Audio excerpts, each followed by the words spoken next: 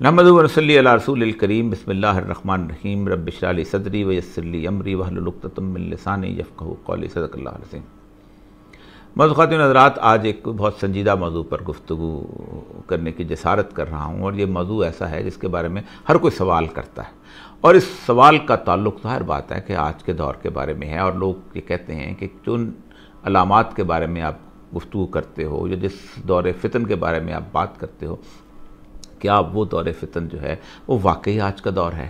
اور کیا ہم قیامت کے نزدیکی زمانے میں داخل ہو چکے ہیں؟ اور اگر ایسا ہے تو پھر آپ کو خبر کس نے دی ہے؟ قرآن پاک میں تو اللہ تعالیٰ جو ہیں بڑے واضح طور پہ فرماتے ہیں کہ وجقولون متا حاض الواد ان کن تم صادقین یہ لوگ جو کہتے ہیں کہ کیوں نہیں بتاتے ہو کہ کب آئے گی وہ کھڑی؟ اگر تم سچے ہو تو بتاؤ۔ کل علم العلم اللہ اے نبی ان سے بتا دیجیے گا کہ اس کا علم صرف اللہ کے پاس ہے وہ ان نمانہ نذیر المبین میں تو ایک کھلا کھلا ڈرانے والا ہوں۔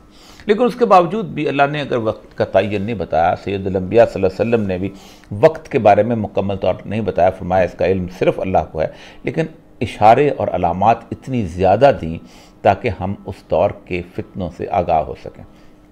کیونکہ آپ صلی اللہ علیہ وسلم کی ایک حدیث ہے، آپ نے فرمایا کہ قیامت کے نزدیک فتنوں سے وہی بچے گا جس کو فتنوں کا علم ہوگا۔ اسی لیے ایک طویل عرصے سے میں اسی بات کی طرف نشاندہی کرتا ہوں کہ ہمیں فتنوں کا اندازہ ہونا چاہیے۔ لیکن آج جس موضوع کو ہم پہ گفتگو کرنا چلے ہیں وہ یہ ہے کہ کیا اس امت مسلمہ کی عمر جو ہے اس کے مطابق، جو اس کی ترتیب دی گئی ہے، اس کے مطابق کیا ہم اس دور فطر میں داخل ہو گئے ہیں یا نہیں؟ یہودیوں کو بہت زیادہ ناز تھا کہ وہ عادات کی بہت گفتگو کرتے ہیں اور عادات کے حساب سے مستقبل کو بھی دیکھتے ہیں، ماضی کو بھی دیکھتے ہیں، انسان کے کردار کو بھی دیکھتے ہیں اور اس کے بارے میں تصور بھی کرتے تھے کہ یہ ہمارے عادات جو ہیں یہ بہت حد تک مکمل ہوتے ہیں اور اس کے مطابق ہم پیش گوئی کر سکتے ہیں۔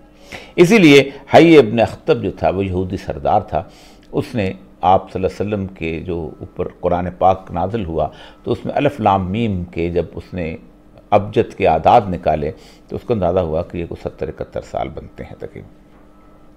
تو اس نے، ان کے جو بھائی ہیں، ابو یاسر جو ہیں، وہ یہ حدیث بڑی مشہور ہے جو کہ ابن خلدون نے بھی اس کو ذکر کیا ایک جگہ پہ، اور پھر بہت مشہور ڈاکٹر حمید اللہ صاحب نے بھی کیا ہے۔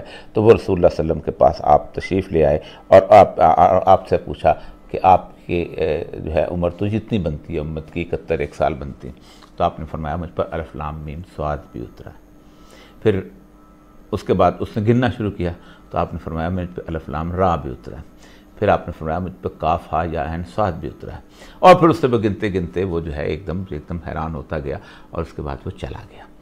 تو اس سے تمام فقہ ہمیشہ نتیجہ نکالتے ہیں کہ اگر ان عادات، ان جو ہیں جو ہیں اپنے حروف مقطعات ان کا کوئی مطلب یا اس کا کوئی عادات کے ساتھ تعلق نہ ہوتا تو رسول اکرم کبھی صلی اللہ علیہ وسلم کبھی بھی یہ اس کے ساتھ یہ گفتگو نہ کرتے۔ اب ایسے حالت کے اندر آپ صلی اللہ علیہ وسلم نے کچھ اشارے نشانیاں اور اشارے اور بھی آپ نے دیے ہیں۔ اور وہ نشانیاں اور اشارے جو ہیں وہ آپ نے اپنی امت کے بارے میں دیے۔ پہلی تو میں اس حدیث کے بارے میں، جو صحیح بخاری کے اندر حضرت عبداللہ ابن عمر کی صنعت کے ساتھ روایت ہے، آپ نے اس امت کے، اس اور باقی امتوں کے ساتھ تقابل کیا۔ آپ فرماتے ہیں کہ گزشتہ امتوں کے مقابلے میں تمہاری زندگی کا عرصہ اتنا ہے جتنا نماز اثر سے لے کر غروب آفتاب تک۔ اہل تورات کو تورات دی گئی، تو انہوں نے اس پر عمل کیا۔ یہاں تک کہ این دوپہر کے وقت وہ آجز آ گئے۔ ان کو ایک کرات دینار کا یعنی چار بٹا چھ کسی چیز کا چوبیسواں حصہ دیا گیا۔ پہلے انجیل کو انجیل دی گئی، انہوں نے نماز اثر تک اس عمل کیا، پھر آجز آ گئے۔ انہیں بھی ایک ایک قرات عطا کیا گیا، پھر ہمیں قرآن عطا ہوا، تو ہم نے غروب آفتاب تک اس پر عمل کیا۔ ہمیں دو قرات ملے۔ اہل کتاب کہیں گے، اے ہمارے رب، ان کو تو نے دو کے دو دو قرات دیے، مگر ہمیں ایک ایک، حالانکہ ہم نے ان سے بڑھ کر عمل کیا ہے۔ راوی فرماتے ہیں کہ اللہ عز و جل کہے گا، کیا میں نے تمہاری اجرت میں تم پر کوئی ظلم کیا؟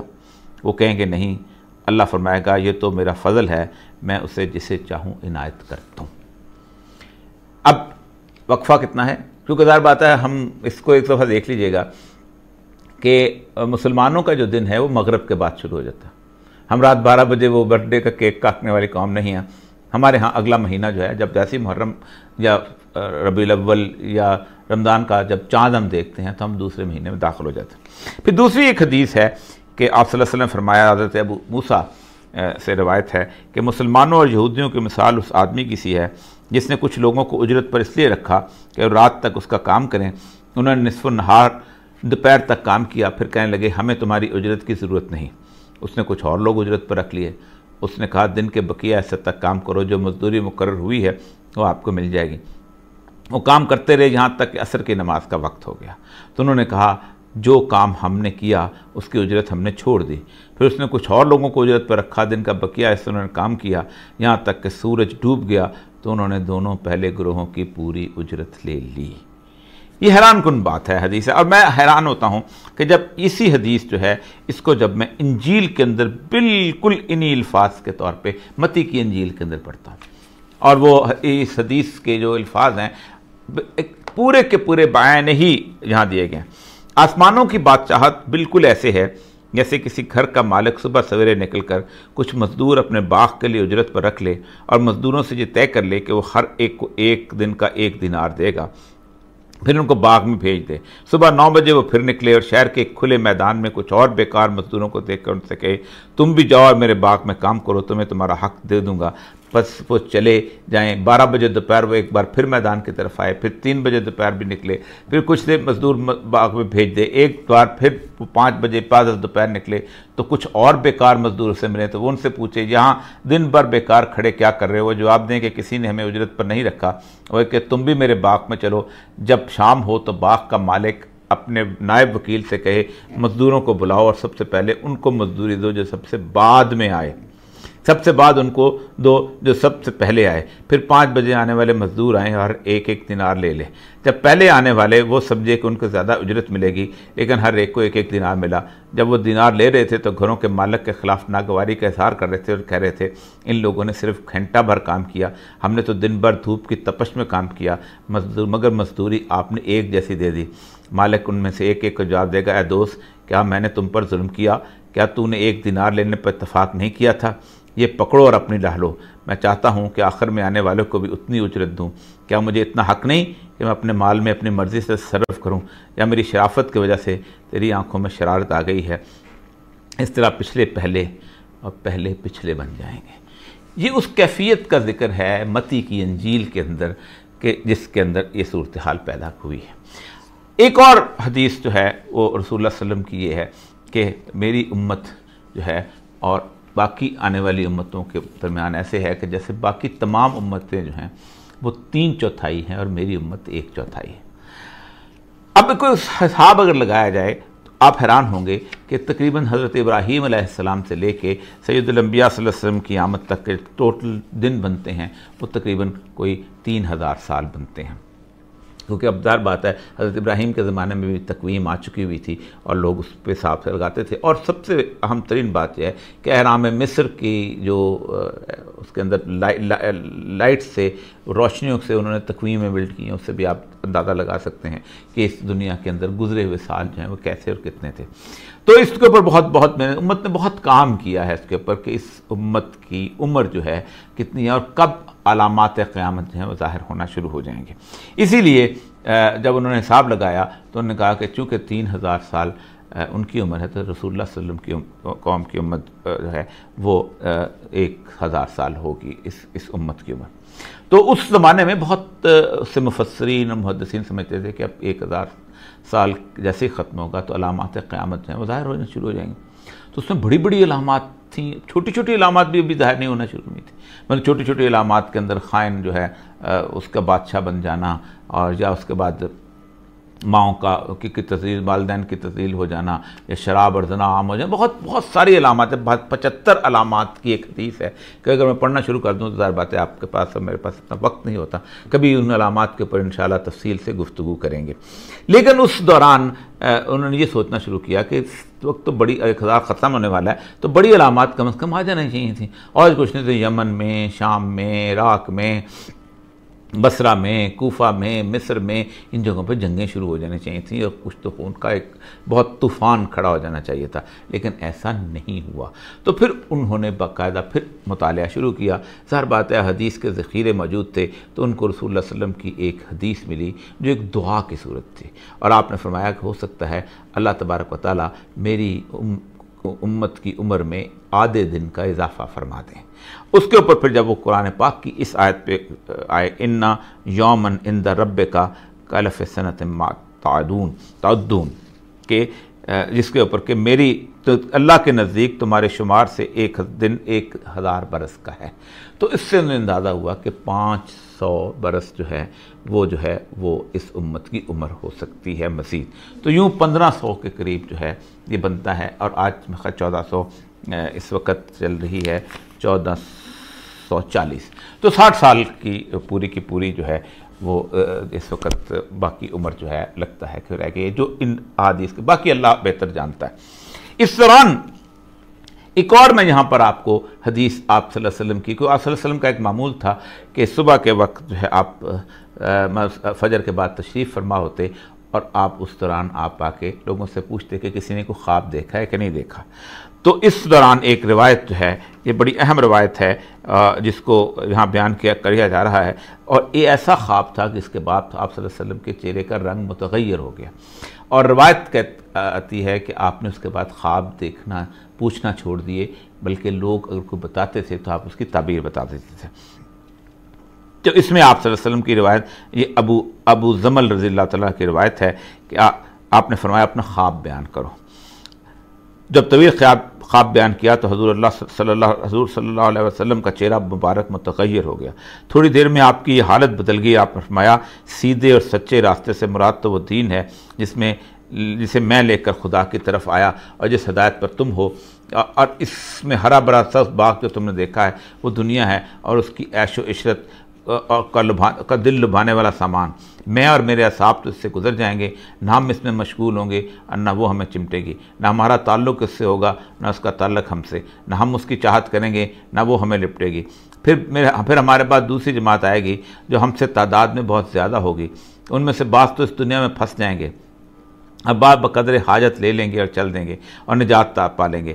پھر ان کے بعد زبردست جماعت آئے گی جو اس دنیا میں بالکل مستغرک ہو جائے گی۔ دائیں بائیں بہک جائے گی۔ فن اللہ و الہ راجعون۔ اب رہے تم تو تم اپنی سیدھی راہ چلتے رہو گے۔ یہاں تک کہ تم مجھ سے تمہاری ملاقات ہوگی۔ اور جس ممبر کے آخری ساتویں درجے پر تم نے مجھے دیکھا، اس کی تعبیر یہ ہے کہ دنیا کی عمر اب سات ہزار سال کی ہے۔ میں آخری ہزارویں سال میں ہوں۔ میرے دائیں جس گندمی رنگ موٹی تھیلی والے انسان کو تم نے دیکھا، وہ حضرت موسیٰ علیہ السلام ہیں۔ جب وہ کلام کرتے ہیں تو لوگ اونچے ہو جاتے ہیں۔ اس لیے کہ انہیں اللہ تعالیٰ سے شرف ہم کلامی ہو چکا ہے۔ اور جنہیں تم نے میرے بائیں جانب دیکھا، وہ درمیانی قد کے بھرے جسم کے بہت سے تلوں والے چہرے والے تھے جن کے بال پانی سے تر نظر آتے تھے۔ وہ حضرت عیسیٰ علیہ السلام ہیں۔ چونکہ ان کا اکرام اللہ نے کیا ہے، ہم سب ان کی بزرگی کرتے ہیں۔ اور جس شیخ کو تم نے بالکل مجھ دیکھا، وہ ہمارے باپ حضرت ابراہیم علیہ السلام ہیں۔ ہم سب ان کا قصد کرتے ہیں اور ان کی اقتدا اور تابے داری کرتے ہیں۔ اور جس اونٹنی کو تم نے دیکھا، میں اسے کھڑی کر رہا ہوں۔ اس سے مراد قیامت ہے جو میری امت پر قائم ہوگی۔ نہ میرے بعد کوئی نبی آئے گا نہ میری امت کے بعد کوئی امت ہے۔ فرماتے ہیں کہ اس کے بعد رسول اللہ نے یہ پوچھنا چھوڑ دیا کہ کسی نے خواب دیکھا ہے؟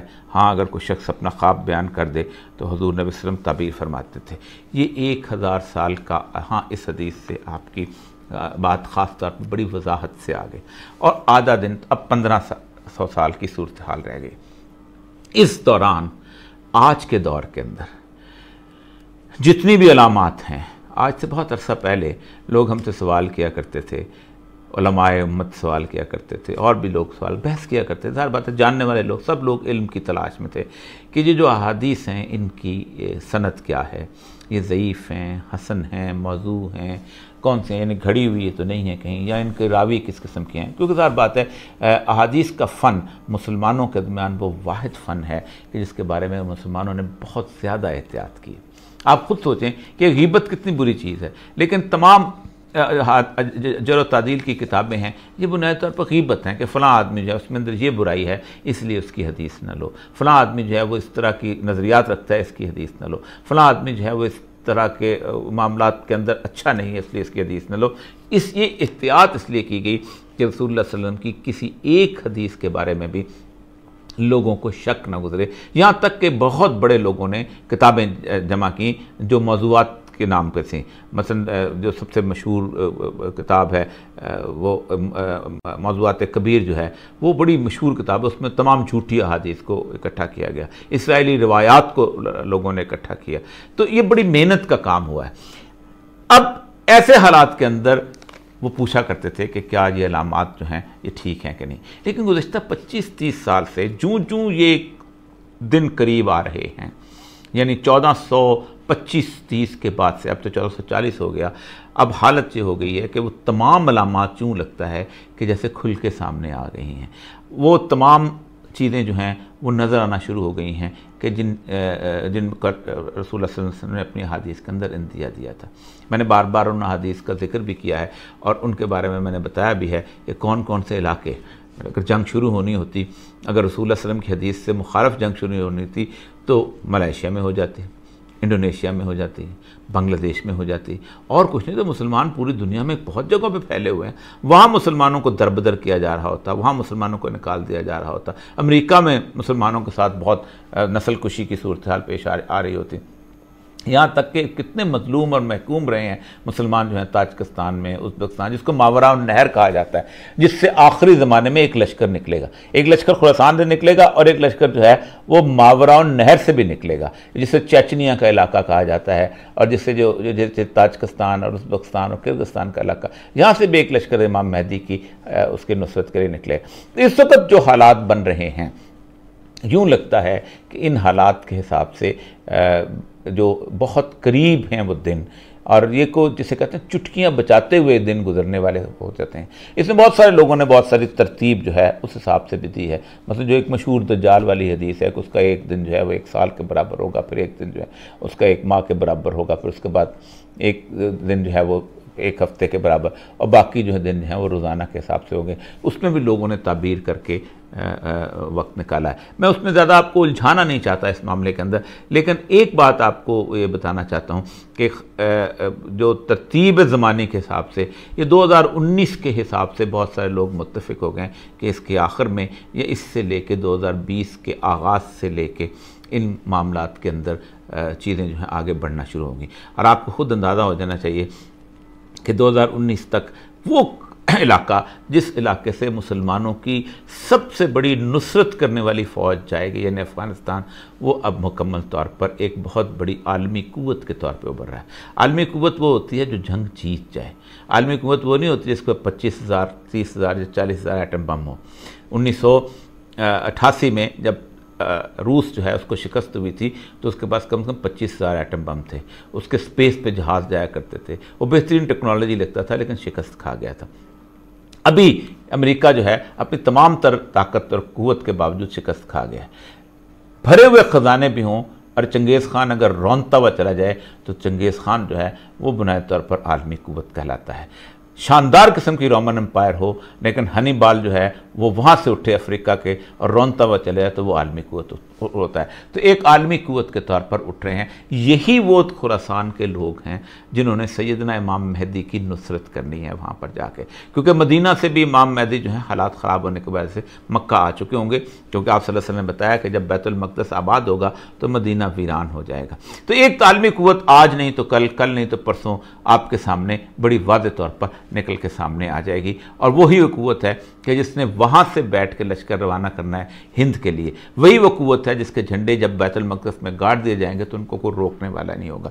اس حالات کے مطابق جو لوگ، کچھ لوگ تعبیریں کرتے ہیں کہ یہ جنگ جو ہے بہت بہت بڑی جنگ۔ اب جو بڑی جنگ سب سے بڑی ملامت القبرا ہونی ہے، وہ جسرب کی ویرانی کے بعد جو کیونکہ جسرب کی ویرانی کے بارے میں آپ صلی اللہ علیہ وسلم نے جو واقعہ بتایا، وہ یہ ہے کہ کسی ایک بادشاہ کے مرنے کے اوپر اختلاف ہوگا اور پھر اس کے بعد پھر حج رک جائے گا اور پھر قتل و غارت شروع ہو جائے گی اور سعودی عرب کے اندر وہ حالات پیدا ہونے ہیں اور اس کے بعد منا کا قتل عام ہوگا۔ اس کے ساتھ ہی سب سے اہم ترین جو بڑی جنگ ہوگی، جو کہ اہل روم جو ہیں، اسی جھنڈے لے کے آئیں گے۔ ہر جھنڈے کے نیچے بارہ ہزار فوجی ہوں گے یعنی نو لاکھ ساٹھ ہزار کے قریب فوجی ہوں گے۔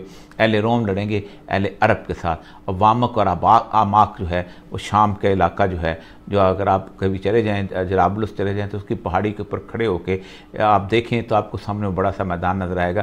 تو یہ جنگ جو ہے منٹوں میں ختم ہونے والی جنگ ہوگی، کیونکہ ظاہر بات ہے کہ وہ جنگ ایسی ہی نظر آئے۔ اس کے بعد سیدنا امام مہدی کا لشکر نے اٹھنا ہے اور پھر اس کے بعد آگے بہت سارے علامات ہیں۔ اور یہ یہ یہ کچھ زیادہ دیر کی بات نہیں لگے گی، کیونکہ اب جنگیں جو ہیں وہ لمبی چلنے والی نظر نہیں آتی، جس طرح کی دنیا کے خاتمے کے حساب سے چلتی چلی جا رہی ہیں۔ تو اس کے بعد وہاں پر جب حکومت قائم ہوگی وہ جب حکومت قائم ہوگی، تو پھر وہ اس کو حکومت جو ہے پوری دنیا کے اندر اسلام کے غلبے کے لیے جد و جہد کرے گی۔ اور آخری جو شہر فتح ہونا ہے، وہ قسطنطنیہ ہے۔ کیونکہ یوں لگتا ہے کہ اس پوری جنگ کے اندر جو جو اہل روم اور اہل عرب کی ہوگی، اس میں کم از کم اور کچھ نہیں تو قسطنطنیہ استنبول مسلمانوں کے ہاتھ سے چلا جائے۔ اور جب قسطنطنیہ بھی مسلمان فتح کر لیں گے اور فتح بڑی آسانی سے ہوگا۔ رسول اللہ نے فرمایا، تم ایک طرف نعرہ تکبیر بدن کرو گے آدھا شہر تمہارے پاس آ جائے گا، پھر دوسری طرف کرو گے تو آدھا شہر تمہارے پاس آ جائے گا۔ اور جیسے ہی آپ فتح کرو گے تو دجال جو ہے اپنی خاص اس انسانی حیت اور شکل میں غصے کے عالم میں باہر برآمد ہوگا کہ اس کا نظام تو اب شکست کھا رہا ہے اور اسفہان سے نکلے گا اور اسفہان کے ستر ہزار یہودی اس کے ساتھ ہوں گے اور اس وقت وہ مسلمانوں کو تحت ایک کرتا ہوا، ان کو محصور کرتا ہوا دمشق میں محصور کر دے گا اور جب دمشق میں محصور کر دیا جائے گا تو اس وقت صبح کا وقت ہوگا، اذان ابا دی جا چکی ہوگی۔ مسلمانوں کا خلیفہ ان کے درمیان موجود ہوگا۔ تو سیدنا عیسیٰ علیہ السلام واپس آئیں گے۔ کیوں آئیں گے؟ کس لیے بھیجا جائے گا؟ اس کے بارے میں بہت تفصیل سے انشاءاللہ گفتگو کریں گے۔ لیکن وہ وقت ہوگا کہ جب دجال جو ہے اس کے مقابلے کے لیے سیدنا عیسیٰ کو بھیجا جائے گا اور وہ آخری لڑائی اس طرح کی ہوگی کہ آپ کو دیکھتے ہی وہ نمک کی طرح پگھلنا شروع ہو جائے گا۔ اس کے بارے میں جو اندازہ کرتے ہیں لوگ آپ کی حقوق حقوق مقطعات کو دیکھ کے، رسول اللہ کے حدیث کو دیکھ کے، قرآن پاک کے آیات کو دیکھ کے، یہ اندازہ ہے، باقی علم صرف اللہ کو ہے کہ یہ واقعہ جو ہے حضرت مسیح کی آمد کا، یہ دو ہزار بتیس، چھتیس کے ارد گرد تقریباً تقریباً یہ آ جائے گا اور اس وقت تک یہ سب کچھ جنگیں جو ہیں یہ مکمل ہو کے جائیں گی۔ اللہ تعالیٰ ہمیں اس دور فتن میں حق کی پہچان عطا فرمائے۔ حق کے ساتھ رہنے کی توفیق عطا فرمائے۔ اور جو بات اس میرے معلوم ہے، اس میں غلط ہوئی ہے۔ اللہ تعالیٰ میرے اور آپ کے ذنوں سے محف کر دے۔ اور جو بات اس میں حق سچ ہے، اللہ تعالیٰ ہمیں اس کو سمجھنے کی توفیق عطا فرمائے۔ باخر